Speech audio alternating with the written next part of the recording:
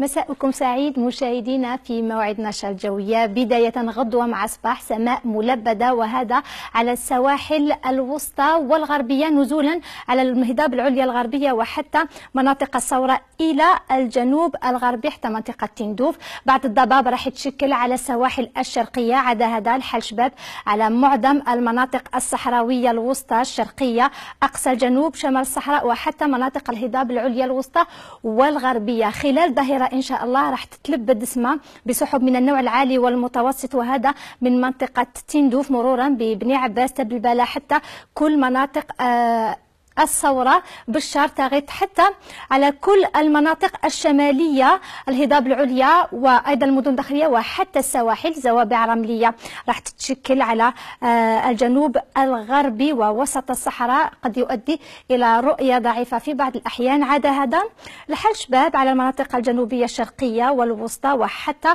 أقصى الجنوب الجزائري. درجة الحرارة لغدوة مع صباح راح ننتظروا من 7 إلى 8 درجات على كل مناطق الداخلية والهضاب العليا 11 على السواحل الشرقية 12 درجة على الجزائر العاصمة 13 على وهران 14 على منطقة الواحات 15 على كل من غردايا حتى منطقة الثورة 17 درجة على تندوف 19 على صحراء تنزروف 18 على عين صالح 15 درجة على إليزي 14 على جنات 17 على تمنرة 26 درجة على برج بجي مختار وعين قزام خلال الظهيرة راح ننتظروا آه، حوالي 27 درجة على الجزائر العاصمة وضواحيها 28 على وهران مستغانم 25 آه، درجة على عنبة سكيكدا طارف وحتى القلاة 28 على تبسة نعامة البيض سعيدة 24 على كل مدن الأوراس وأيضا الهضاب العليا الشرقية والوسطى 30 إلى 31 درجة على الأطلس الصحراوي 33 على تندوف 34 على رقان وأضرار وحتى عين صالح